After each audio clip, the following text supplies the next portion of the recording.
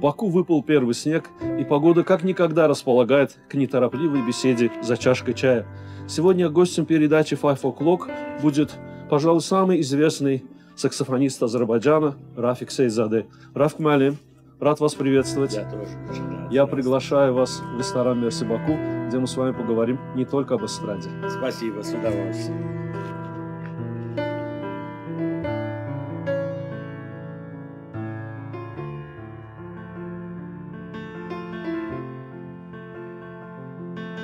Рафик Малим, Five O'Clock'a hoş gelmişsiniz. Hoş olsun, sağ olun. Рафик Малим, почему именно саксофон? Почему не кларнет, не зурна, не свирель? Почему саксофон? Ну, понимаете, я начинал с кларнета. Во-первых, я начинал с вокала. Э, Это где-то был 55-й год. Я поступил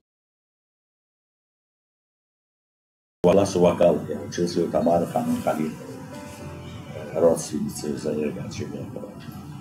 И удивительно, в то время я поступал именно э, в репертуаре, у меня э, были песни нашего великого Рашида Бекетова. Он в то время вообще был самый... Гремел, да? Да, гремел самый любимчик в городе Баку. И вот мы, молодые ребята, когда его слушали, мы просто замирали от счастья. Были случаи, играли во дворе, там в футбол играют, допустим, пацаны, и вдруг откуда-то с какого-то окна доносится голос Рашида Бейкова, его песни, и мы замирали. Вот как замри игра была у нас с детства. Вот замирали и слушали его. И мы впитывали это в себя. Мы воспитывались фактически в той среде, в той атмосфере, которая царила в то время у нас в Баку. Это была прекрасная атмосфера. Но вас э, больше знают как саксофониста, чем как певца. Это потому, что вы пели хуже, чем играли? Вы Или... знаете, я вам скажу, я пел э, э, и хуже. Э, я очень э, популярность была помимо Баку, мы были на гастроли. Э, Я работал в то время в Государственном эстрадном оркестре Азербайджана под руководством Пугаджиева. Это был один из престижных, один из э, профессиональнейших коллективов Советского Союза. Мы работали, у нас такие залы, мы покоряли, как Кремлевский дворец съездов, как сцена Большого театра, Россия, концертный зал, Октябрьский зал, э, Мариинский Это лучшие площадки были, да, в то время? Лучшие площадки, конечно, Советского Союза они были. И мы э, тогда, конечно, наш оркестр очень был популярный. В то время мы выезжали, мы в году 9 месяцев были на гастроли. Понимаете, я уже ч- 15 лет я проработал вот в таком режиме. Э, И когда я приезжал в Баку, там на пару месяцев, ну, на отпуск и еще подготовительный репертуар мы готовили. Ну, два-три месяца мы были в Баку, и у меня психология измененная была. Понимаете, я себя уже как-то странно себя чувствовал здесь. И поэтому нас знали очень хорошо за пределами Азербайджана. Я пел э, песни э, такого баритонального плана. Может быть, у нас здесь в то время не воспринималось это в 60-е годы. Почему? Потому что даже муслим, он, э, я помню эти времена, когда э, он только начинал петь, и не очень здесь воспринимался он. После Бухенвальского набата, э, набата, после того, как он поехал на Люди мира на секунду встаньте. да, вот после этого, после Москвы, оттуда он возвратился в Баку уже с триумфом. Понимаете, вот это, это естественный вопрос, э, процесс, поэтому... Рафик, а вот вы упомянули атмосферу Баку. Э, Каким был Баку вот в те годы, в годы вашей молодости? Это он весь был пронизан джазом, оттепель, буги-вуги, твист, да? Север был э, пронизан. Вы понимаете, Баку в, в середине 50-х годов, это, мне кажется, может быть, моя молодость попала именно в ту пору. И, может быть, каждый молодой человек, он в 15, 16, 17 лет чувствует, что вот эта эпоха для него самая прекрасная. Понимаете? Мы тоже. Но там царила такая атмосфера, атмосфера интернационализма. Понимаете? Здесь э, смещение разных национальностей было. И мы, азербайджанцы, мы, ребята, э, азербайджанцы, мы соприкасались э, с представителями других наций и познавали их э, внутренний мир. И мы не страшились этого. Мы даже порой их опережали. Вы понимаете, когда уже мы знали, что другой национальности человек как мыслит, значит, мы мыслим не хуже. И даже в каких-то вопросах мы больше э, них можем понять и достичь. И вот таким образом э, в, это, в атмосфере интернационализма здесь э, начал развиваться джазовая музыка, начала развиваться. И вот в этот момент мы и вошли в мир джаза. Мы слушали Америку, Юлис Канвера, э, а, э, каждую ночь там, с трех до четырех часов передавалась передача, посвященная джазу. Мы это все впитывали, а на следующий день вставали и искали где-то, находили инструмент саксофон, там я помню, нашел старый один какой-то саксофон и играл. И вот занимались мы сами, э, стихийно как-то э, мы развивались и доходили, и достигали определенных успехов. И эти успехи были подтверждены еще за пределами нашей республики. Но когда вы начинали, это был как бы андеграунд, вы подпольно это как все делали? Это подпольно было все, конечно. Вы, вы знаете, в 48 году, 1948 году был э, выступление Жданова было по этому поводу, и джаз называли буржуазной музыкой, э, музыка буржуи, и запрещенный он был. Поэтому, но в Баку я не знаю, может быть, у меня в моем характере это тоже меня привело к джазу. Свободолюбие, что я всегда... Для меня самый дорогой в жизни – это свобода. Понимаете, это самый дорогой в жизни свобода. И, и, а это джаз – это свободная музыка. Там полет, импровизация, там никаких рамок. Рамки есть, определенные рамки, но когда мы нача, начинали, э, мы вне рамок. Мы играли импровизацию и могли там часами развивать там э, а потом уже, конечно, ну, когда в 59-58 году я начал работать э, в ресторане «Дружба», там был Вова Владимиров, самые лучшие музыканты были сосредоточены там. И джаз процветал именно в этом ресторане в то время, когда Раймонд Паулис приезжал сюда, здесь э, Симича оркестр, Голубой джаз приезжал сюда, э, с разных стран приезжали, и они после концерта, которые давали филармонии или же тогда э, клуб Дзержинского назывался, да. в оперном театре, они прибегали к нам слушать модерн джаз. Mm. Понимаете? И они ценили нас. У нас был контрабасист один Рафик Антонов. Он был блестящий, он был в Европе, я не знаю, в мире один из лучших э, этих контрабасистов. Все приезжали, все ахали, охали, смотрели, думали, что это за титан вообще такой. Понимаете, что в Европе таких контрабасистов не было.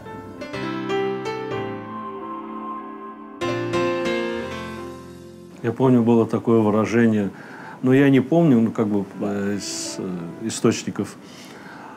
Было такое выражение, сегодня слушаешь ты джаз, а завтра, а завтра родину. Сегодня слушает он джаз, а завтра родину продаст. продаст. Да, ну вы понимаете, родину мы э, всю жизнь любили, и, и мы иногда даже, я вот чувствовал у себя, я какие-то свои приобретения, какие-то свои вот эти успехи связывал с тем, что я азербайджанец, что я среди других наций. Они, когда мы играли, азербайджанец играл на саксофоне, допустим, или на трубе, пытался играть джаз, то чувствовался, мы же особые нации, мы воспитанные на Мухаммаде, самая такая нация, ну как, в смысле, тонко ощущающие звуки и музыку. Мы можем играть музыку любых народов, а нашу музыку не каждый народ может сыграть.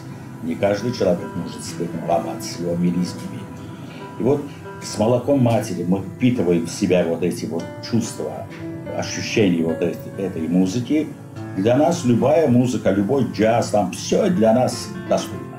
И мы доказывали этим представителям других народов, нашим друзьям, что азербайджанцы играют не хуже, даже лучше могут играть, э, чем другие представители других национальностей. Вот вы играли с разными исполнителями, да. и с Муслимом Магомаевым, да. и с квартетом Гая. Да. А вот саксофонисту все равно, с кем он на сцене, или как-то вот э, имя рядом, оно как-то влияет? Вы понимаете, саксофонисты, музыканты э, разграничиваются на две категории. Есть музыканты, которые импровизирующие музыканты. И есть э, крепкие, хорошие, с хорошим образованием, консерваторские, допустим, которые читают ноты с листа. Э, есть крепкие, такие грамотные классические музыканты, которые э, играют в оркестрах, играют в группах и хорошо на высоком уровне все. Но среди них бывают талантливые э, хулиганы, да? Хулиганы, которые дают э, себе волю, могут дать и разрешить немножечко поимпровизировать. Вы хулиганом были? Мы хулиганом были, да. Мы были хулиганом в хорошем смысле слова. Были шустрые ребята, такие поторговые. Каждый квартал у нас был разграничен. А, то есть не только в музыке хулиган, но и в жизни тоже? В жизни тоже, конечно. В жизни тоже мы были, ну, начинали с гадейшим. Потом мы вбирали в себя культуру европейского плана такого направлении и стремились быть европейцами. В хорошем смысле слова, но с традициями азербайджанских корней.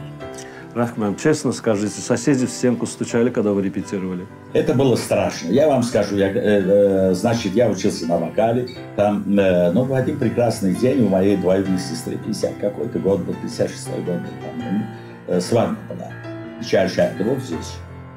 И, значит, э, мы пришли, Магомаева 63, у двоюродной сестры на свадьбе присутствовали. И там до утра кларнетист, он меня обворожил просто. Я смотрел на него, и я думал, что ну, это какое счастье обладать инструментом. А петь все поют, да, даже э, все поют. Но это же не инструмент, надо э, заняться чем-то серьезным. И на утро, э, значит, мой брат, а он был в Нахчеване офицером служил, старший брат, он э, был в Баку в отпуске, и он мне сказал, что ради как здорово этот, этот кларнетист играл. А, я говорю, а ты бы смог бы так сыграть? А он знал, что я пою, способный, у меня в музыке есть способности. Я говорю, конечно, сыграю. Ну, и утром, это было рано утром, пришли, в 9 часов открывался, в 10 часов открывался ГУМ, он вермахт наш, э, этот городской вермахт, а там был кларнет за 916 рублей. Какой товар, по отделе какой товар. Большие деньги. Да? Это огромные деньги были, огромные деньги. И он тут же взял, мы даже стояли целый час, ждали, пока откроется этот универмаг. И он взял тут же, не понимая ничего, хороший инструмент. Ленинградский инструмент был с футляром, забрали его. Я начал дуть, дуть, дуть. Но ну, уже не то, что соседи, домашние, и соседи, то и родственники тоже, им всем я надоел, понимаете. Сам освоил этот инструмент, сам, без педагога. Освоил этот инструмент, уже играл. Играл, а у нас по соседству был один Айден, он был известный, в Баку был музыкант Моля Маркман, саксофонист, он давал уроки, кто хотел на саксофоне учиться – а саксофон, кларнет – это почти, они одинаковые, родственные инструменты. А, и я, значит, начал, а я же ноты не знаю, ничего не знаю. Я как вокалист поступил или не подготовлен, или, или безграмотный в, отношении музыки. В общем, этот Айден учился по нотам, и я смотрел на него, я говорю, Айден, ты вообще... А он не мог играть. Я играл свободно, там всякие мелодии, там композиции. А он только по нотам играл этюды.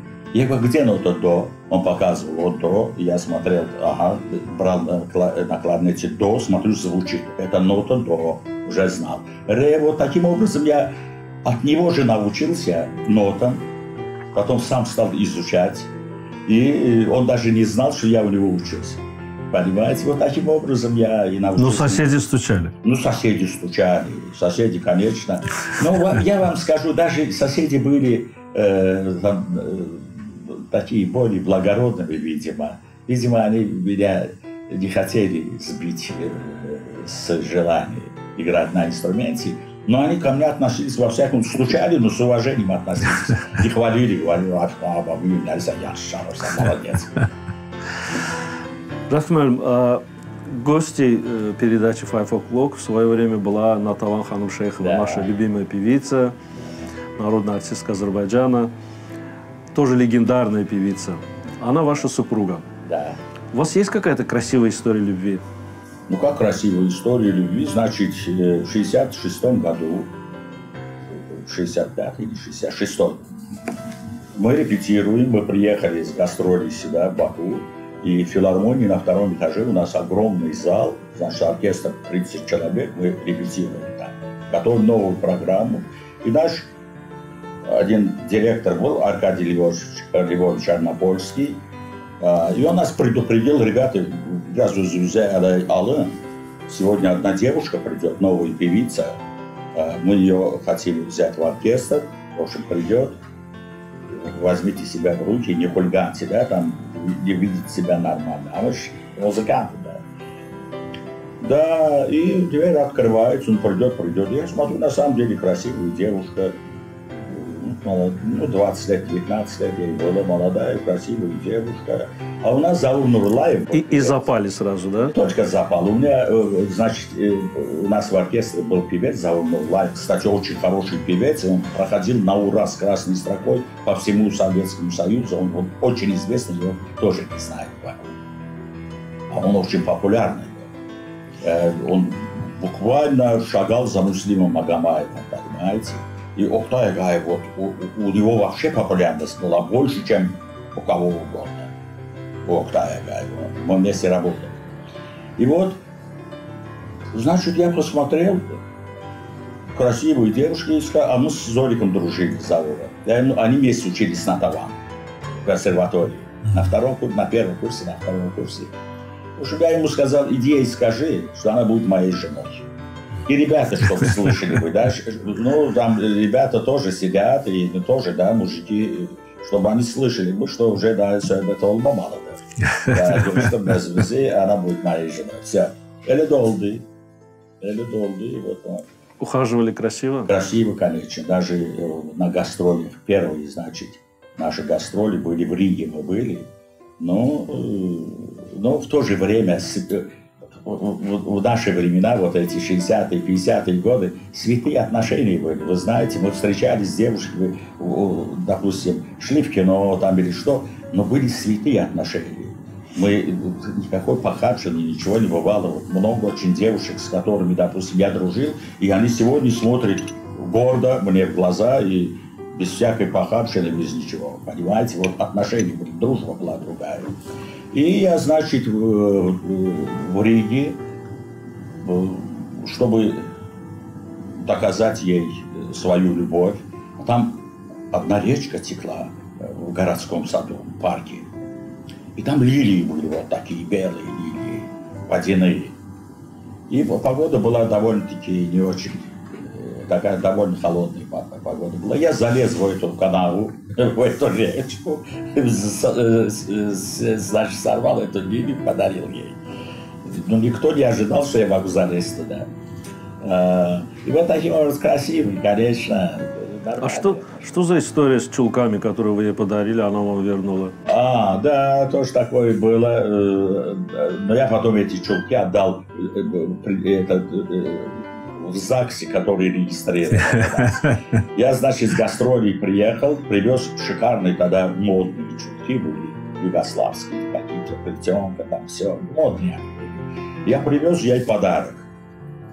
Она отказалась. Ну, вы же встречались. Мы, да, да, да. Нет, потом какое-то время она осталась, когда узнали, что мы э, встречаемся ее родители не хотели. Ну, молодой парень там, я был из ну, Лабух, да, саксофонист, э, такой... Хулиган.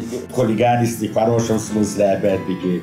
Ну, такой драчун иногда может быть. И вот это сослужило потом плохой славой, говорили, что он... Э, да, вакяр. Да, вакяр, да. И, в общем, что я хочу сказать, я ей привез чулки, дал Ей она взяла, сказала, да я что думал, скажу. Скажу, подарок, кто мне подарок, откуда? родители обычно покупают, да, и она не взяла. Вот я почему задал этот вопрос, да. вот интересно, да, как отношения какие тогда были. То есть это принять чулки от мужчины, это считалось зазорным, да? Конечно, это, конечно, молодая девушка. Да. Только потому что это чулки или там, допустим, Нет, другой предмет другой одежды? Предмет, деньги, там вообще деньги, мы не знаем, что такое. Мы не знали, там некоторые я не знаю, были люди, которые ехали в Москву, говорили, что мы гуляли, там деньги были, кидали, то другой, девушки были. Какие девушки, какие деньги, любовь была. По всему Союзу вы ездили, девушки стояли в очередь и хотели знакомиться, мы выбирали, какая красивее из них. О чем вы говорите? Надеюсь, это было до Натавахана. Да это был до Натавахана. А как одевались вот в то время в Баку модники, модницы? Откуда доставали одежду? Шили, здесь Ласкачев был один портной пальто, он мне шил два пальто, один, одно пальто ратиновое было, с плечами такое, с двумя шлицами сзади, теплое пальто, и другое бобриковое пальто. Потом костюмы мы шили, потом... Мы, вы знаете, в то время удивительное ощущение было у людей – эти фирмы всякие, норвашки, там, сейчас хоть здесь э, клею фирму, чтобы узнать, что это фирменная одежда, мы чувствовали по строчкам. Вот. Мы смотрим, и фирма ощущается. Понимаете? И, э, значит, мы ехали там, покупали э, одежду, туфли на платформе. Тогда узкие дудочки, брюки были. И комбой. Бриолина, да, бриолина. И, в общем, вот мы, а потом мы же черпали информацию э, с фильмов. Трофейные фильмы были гениальные, американские фильмы были. Потом европейские фильмы были, итальянские, французские, там, я не знаю, английские. Прекрасные фильмы были, где мы учились этой культуре. Мы смотрели, мы старались жить этой жизнью. Тогда и в этих фильмах не то, не то что сейчас – Тогда и нравственность была, тогда и чувство чести было, чувство э, нормальных взаимоотношений человеческих, э, которых сейчас в фильмах нет. Сейчас только могут убивать, я не знаю, изменять, какие-то подлости друг другу делать. А те фильмы, они нас воспитывали. Мы на них равнялись. Мы хотели точно так же вести себя по отношению к девушке, как в этих фильмах ведут себя герои. Так, может быть, вы джаз, увлекались джазом, потому что это было э, модно? Вы отдавали дань, дань моде или... Дань моде и еще свобода, я говорю, свобода. Свобода, ощущение свободы. Я помню, я э, маленький пацаном был лет 13-14, мы подрались, и где-то сутки нас держали в третьем отделении милиции. В этом, э, в камере. В Кутузке. В Кутузке. И я там целые сутки я там чуть с ума не сошел, вы понимаете? Я не люблю замкнутые пространства. Я даже помню, мы были в Каире, и вот, вот в этих пирамидах заходили туда, чтобы, ну, как турист, да, мы на гастролях были там, ну, чтобы поинтересоваться, что там внутри. Когда я прошел вот это замкнутое узкое пространство, через 4-5 шагов я стал задыхаться, я вышел. А люди проходили спокойно, заходили там в зал, смотрели, выходили. Я не мог это. И поэтому, может быть, даже чувство свободы меня и заставляло быть порядочным, нормальным человеком. Я знал вот этот один день в своей жизни, я почувствовал, что это такое. И поэтому, и будучи руководителем, э, ну, 12 лет я был директором филармонии, будучи руководителем, я всегда старался вести себя. Криминальных никаких дел не должно быть, чтобы не потерять свою свободу. Вы понимаете, чтобы, э, я не знаю, не потерять свое лицо.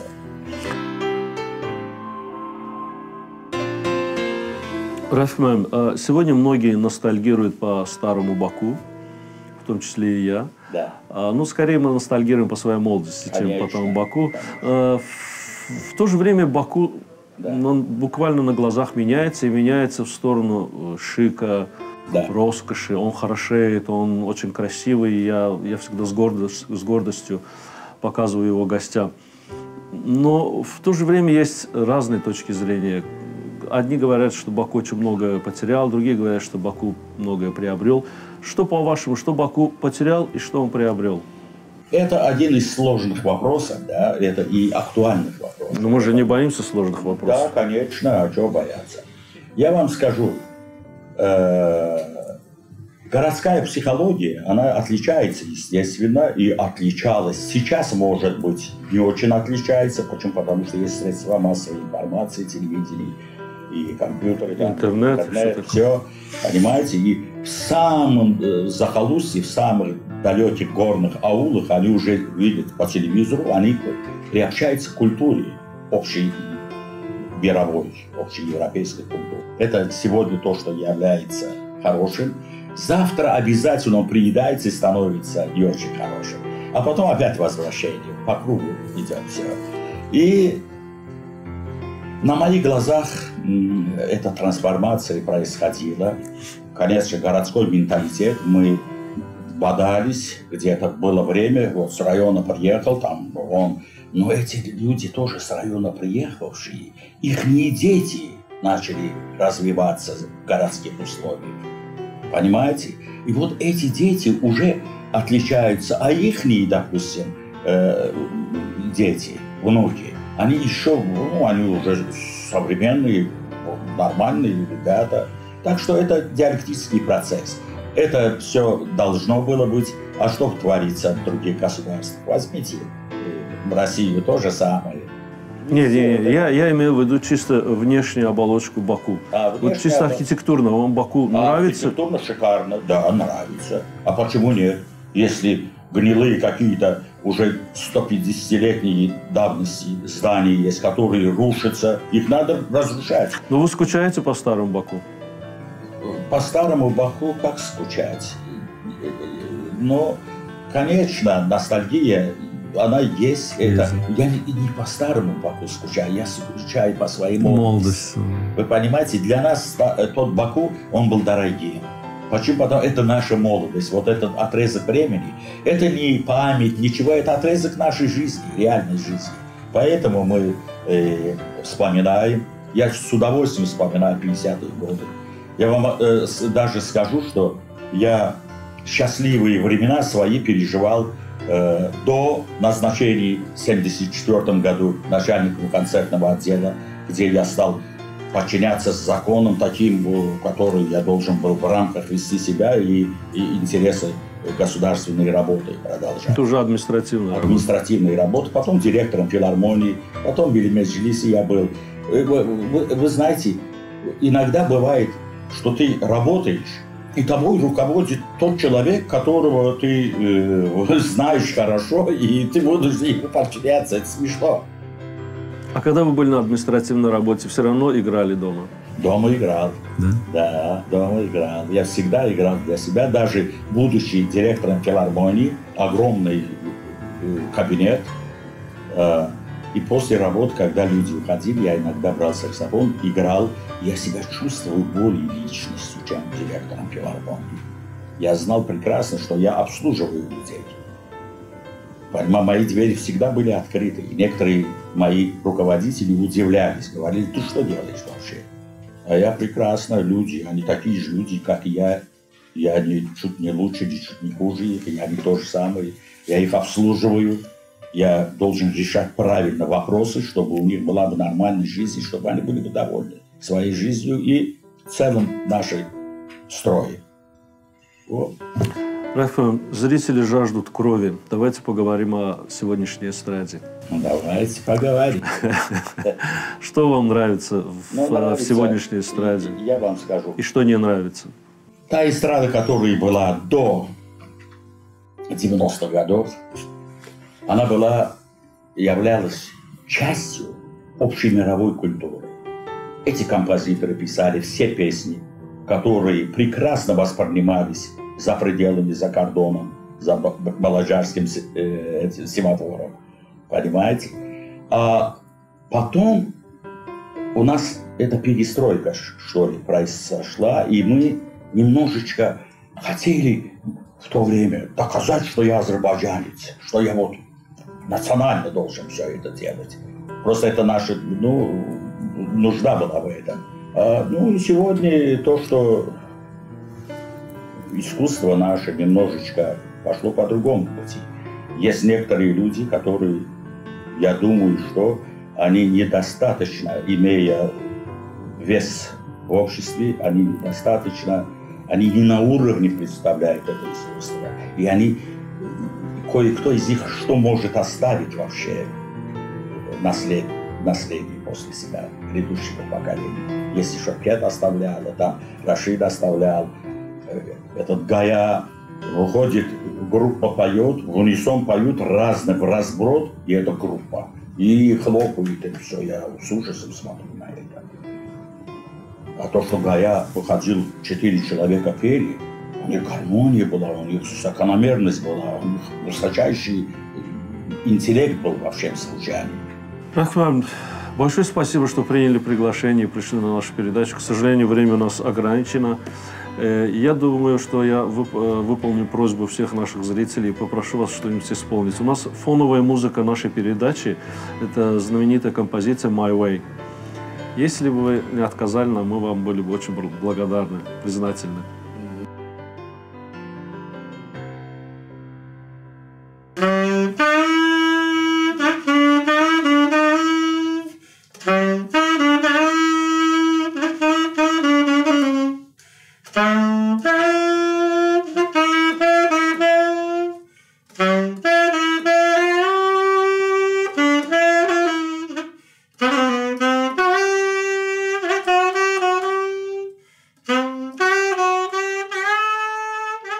Напомню, что сегодняшним гостем передачи Five O'Clock был легендарный азербайджанский саксофонист Рафик Сейдзаде.